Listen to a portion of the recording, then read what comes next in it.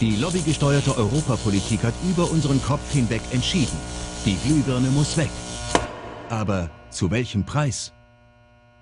ना ना इसमें इतनी खतरनाक मरकरी है ही नहीं कुछ भी It has to be handled correctly, Fine, fine. otherwise the levels would be too high of mercury. Nobody can imagine that uh, such a little amount can be so dangerous. The other problem is mercury don't see it evaporate. So if you see it lying there, you think it's just lying there. You don't see there's, it's also in your nose.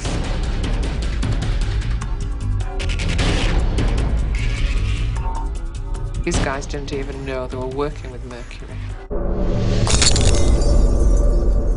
Okay, ja, das habe ich jetzt verstanden. There's a small amount of mercury in it. Anything we can say apart from that? Nothing. Ja, und was wollen Sie jetzt von mir in Kommentaren? Sie vergiften uns, sie verkaufen uns und sie nehmen uns unsere Stimme. Die Glühbirne war erst der Anfang. Also die Glühbirne ist ein kleiner Teil, aber ein Teil einer weiteren Politik, die uns hoffentlich hilft, das Klima wirklich erfolgreich zu bekämpfen.